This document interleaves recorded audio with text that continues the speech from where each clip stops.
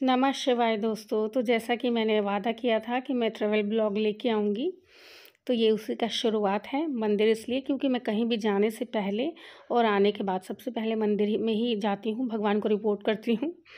तो यहाँ से हम लोग निकल गए थे, ये हम लोग लिफ्ट में थे और उसके बाद जाएँगे पार्किंग में और वहाँ से अपनी गाड़ी में बैठ के आराम से निकलेंगे। तो ये देखिए, ये पार्किंग है और उसके बाद हम लोग बैठ के निकल गए थे। और बहुत जल्दी ही हम लोग पहुँच गए थे। लगभग दिल्ली से बाहर निकलने वाले थे ये। और एक बार दिल्ली से बाहर निकल जाओ तो लगता है पहुँच जाएँगे, क्योंकि दिल्ली के अंदर बहुत ट्रैफ़िक होता है। तो यहाँ से हम लोग निकल गए थे। फिर ये रास्ते का है। तो ये जो है ना छोटा वाला बेटा, ये हमेशा पेसीफायर मुँह में लेके रहता था उस टाइम और मानता ही नहीं था। तो और यहाँ पे है, मैं इनको बोल रही हूँ कि मैंने इनको ड्राइवर रख रखा है तो ये हंस रहे थे। और फिर यहाँ पे हम लोग आए थे और यहाँ पे हम लोग रुके थे फ़र्स्ट टाइम कुछ ब्रेकफास्ट वगैरह करने के लिए। ये ऋषिके नहीं, हरिद्वार से थोड़ा पहले था। और यहाँ पे हम सबने बढ़िया से नाश्ता किया था। छोटे वाले बेटे को बहुत प्यास लगी थी।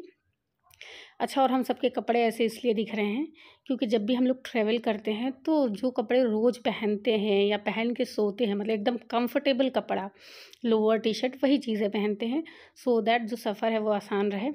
और यहाँ मेरे पति देव बता रहे थे कि दाढ़ी बढ़ गया है बट मैंने उनको बनाने नहीं दिया था, शायद थर्सडे था। और उसके बाद हम सबने खाया था मज़े से, जिसको जो पराठे खाने थे, सबने खाया। बच्चों ने दही खाई थी हस्बैंड ने भी दही खाई थी शायद।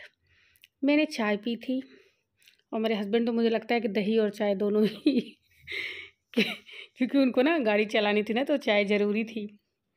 नहीं तो सिर्फ़ बेटे ने ही खाया था दही। हाँ ये बेटे के लिए आया था और बढ़िया से खाए थे यहाँ पे हम लोग। ये देखिए छोटा वाला बेटा अपने में ही मस्त था तब तो बहुत छोटा था और मुझे शूट करने का बिल्कुल आइडिया नहीं था इसलिए ऐसे आया हुआ है। मुझे पता नहीं था तब यूट्यूब के लिए कैसे शूट करते हैं तब मेरा चैनल नहीं था।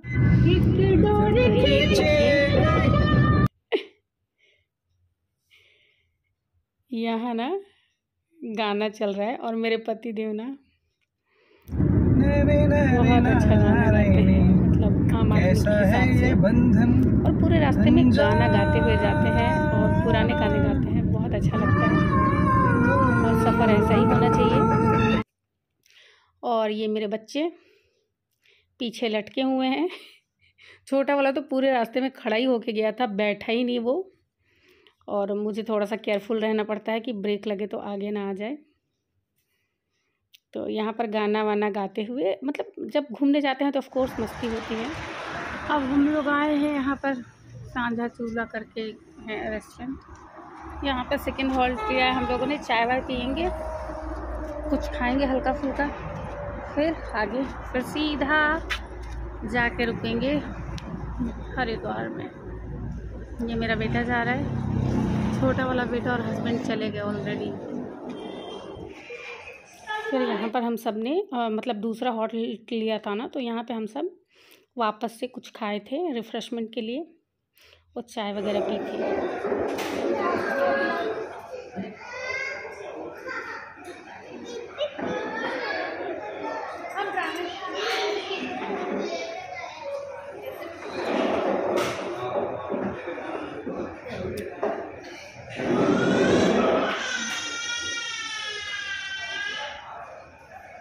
अच्छी है मस्त है। काफ़ी देर चाय पी रहे हैं।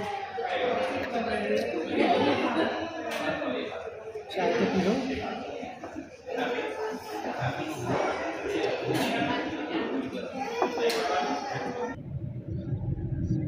फिर यहाँ पर हम लोग आ गए थे गाड़ी में आगे की जर्नी के लिए यहाँ पे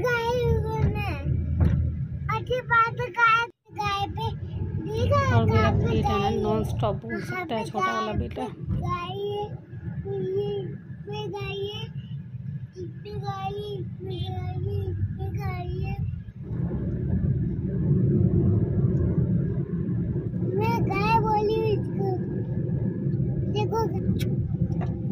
हाँ हाँ। जाना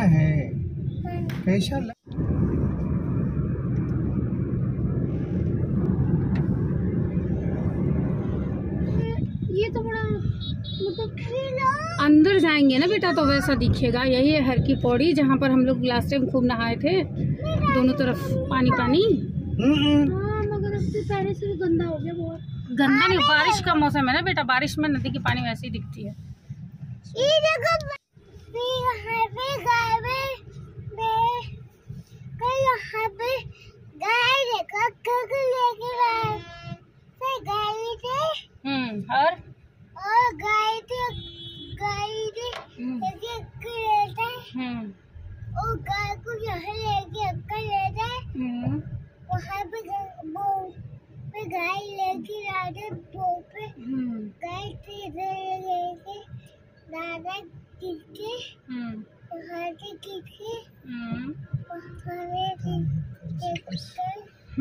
हम्म आई लव यू ओम नमः शिवाय। हर हर महादेव। ओके। हम लोग भी तो यहीं से लेके गए थे ना लास्ट टाइम जब आए थे तो। एक अंकल आप जिससे नहाए थे ना साफ़ पानी वाले में हम्म। यहाँ का मतलब देखने में साफ़ सुथरा हम्म। तो वहाँ पे दो अंकल और नहाए थे।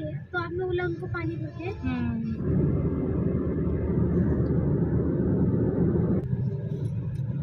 तो हम लोग ऋषिकेश में ऋषिकेश है ना?